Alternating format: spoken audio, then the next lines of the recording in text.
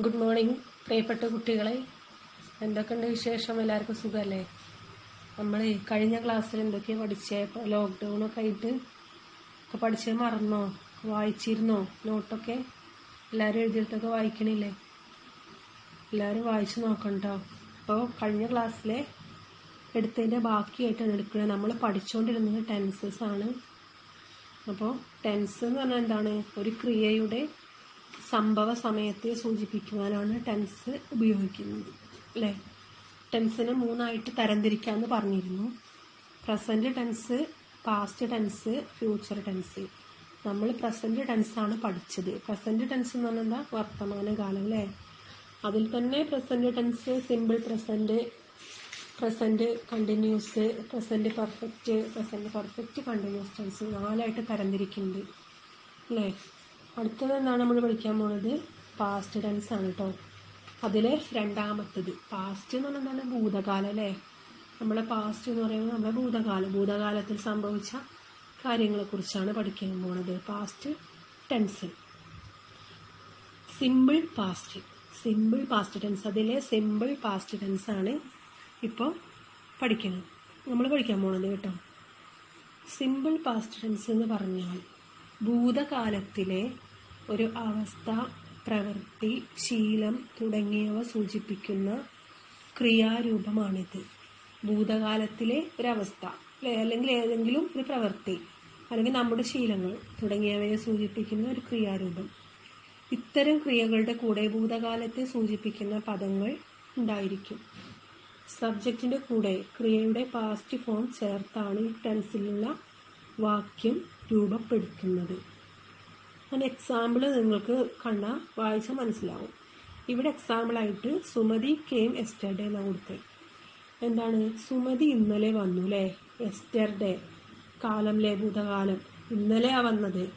അല്ലേ പ്രസന്റ് ടെൻസിലല്ല ഇന്നല്ല വന്നത്. ഇന്നലെയാണ് സുമതി വന്നത്.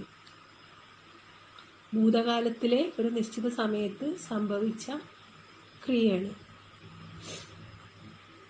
അടുത്തൊരു എക്സാമ്പിൾ നോക്കാം. I walk through country sides എന്താണ്? ഞാൻ നാട്ടിൻപുറങ്ങളിലൂടെ നടക്കാറുണ്ടായിരുന്നു.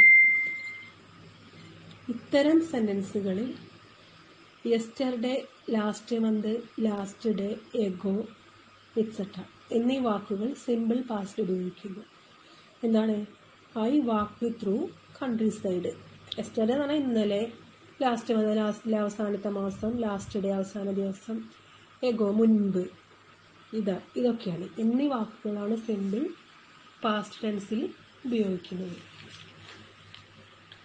ഇനി പാസ്റ്റ് കണ്ടിന്യൂസ് ടെൻസ് ഭൂതകാലത്തിൽ തുടർച്ചയായിട്ട് ഒരു ക്രിയ സംഭവിച്ചതിനെ സൂചിപ്പിക്കാനാണ് ഈ ടെൻസ് ഉപയോഗിക്കുന്നത്. ഭൂതകാലത്തിൽ കഴിഞ്ഞ കാലത്തിൽ തുടർച്ചയായിട്ടൊരു സംഭവത്തിനെ സൂചിപ്പിക്കാനാണ് ഈ ടെൻസ് ഉപയോഗിക്കുന്നത്.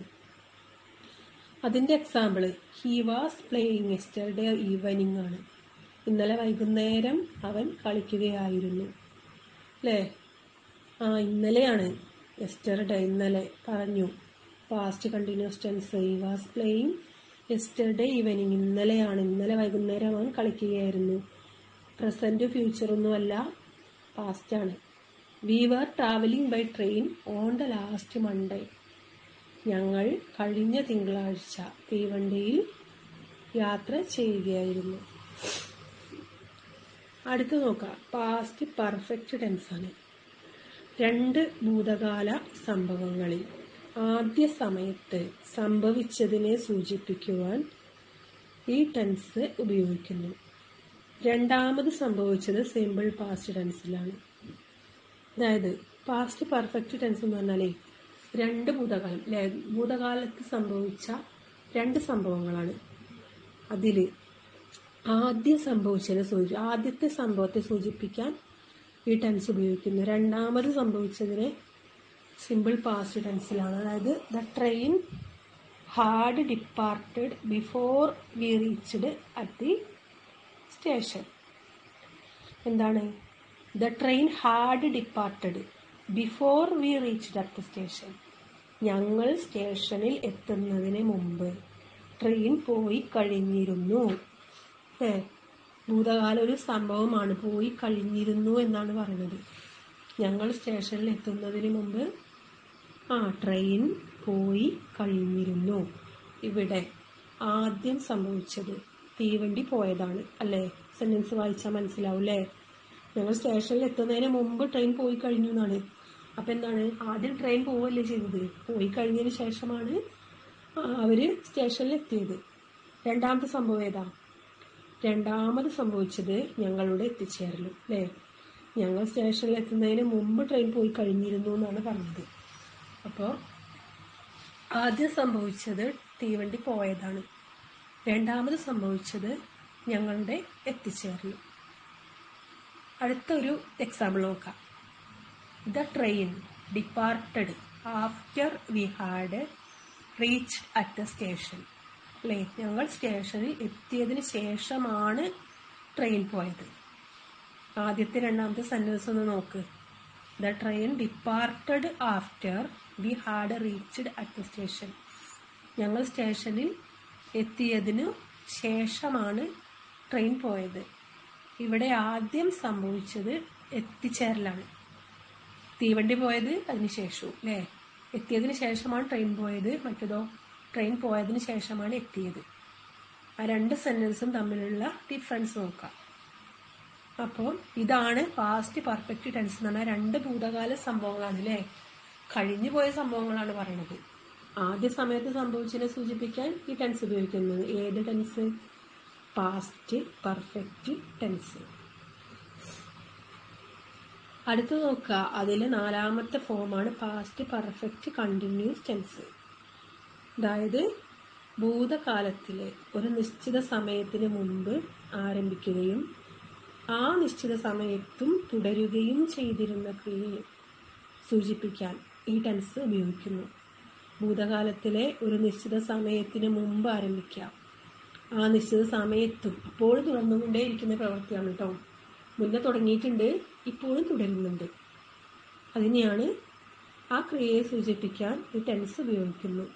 അതിന്റെ ഫോം സബ്ജക്റ്റ് പ്ലസ് അല്ലെ കർത്താവ് had സഹായക്രിയാണ് been plus I N G form of verb action നമ്മൾ സഹായക്രിയ ചേർത്ത് കൊടുക്കണം പ്ലസ് ഒബ്ജക്റ്റ് അതിന്റെ ഒരു എക്സാമ്പിളായിട്ട് നോക്കാം. ഇവിടെ ഉണ്ട് ഒരു എക്സാമ്പിൾ ഈ ഹാഡ് ബീൻ റൈറ്റിംഗ് ലെറ്റർ അല്ലേ അവൻ കത്ത് എഴുതിക്കൊണ്ടേ ഇരിക്കുകയാണ് അല്ലേ ഹി ഹാഡ് ബീൻ അല്ലെ ബീൻ ചേർത്തിട്ടുണ്ട്. Had had plus been plus I N G writing elector അല്ലെ വെർബ് പ്ലസ് ഒബ്ജക്റ്റ് എലക്ടർ ആണ്. സബ്ജക്റ്റ് ഹി ഈ ഫോം അങ്ങോട്ട് മനസ്സിലാക്കിയാൽ തന്നെ സെന്റൻസ് നമുക്ക് എഴുതാൻ സാധിക്കും. എല്ലാവർക്കും മനസ്സിലായിട്ടുണ്ടോ? ആദ്യം മുതൽ പാസ്റ്റ് ടെൻസ് എന്താന്ന് വെച്ചാൽ ഭൂതകാലം അല്ലേ അതിന് നാലായിട്ട് തരംതിരിക്കുന്നുണ്ട്. Simple past past continuous tense past perfect tense ആ past perfect continuous tense past tense ഭൂതകാലല്ലേ? നമ്മളെ ഭൂതകാലത്തെ കുറിച്ചാണ് നമ്മൾ പഠിച്ചിരിക്കുന്നത് കഴിഞ്ഞ കാലം. ഭൂതകാലത്തിലെ ഒരവസ്ഥ പ്രവൃത്തി ശീലം തുടങ്ങിയവയെ സൂചിപ്പിക്കുന്ന ക്രിയയാണിത് എല്ലാവരും ഈ നോട്ട് എഴുതിയെടുക്കണം. എല്ലാവരും എഴുതിയെടുത്തിട്ട് എനിക്ക് വിട്ടുതരണം. ക്ലാസ് കേൾക്കണം. സംശയങ്ങളൊക്കെ ഉണ്ടെങ്കിൽ ചോദിക്കണം. ഓക്കെ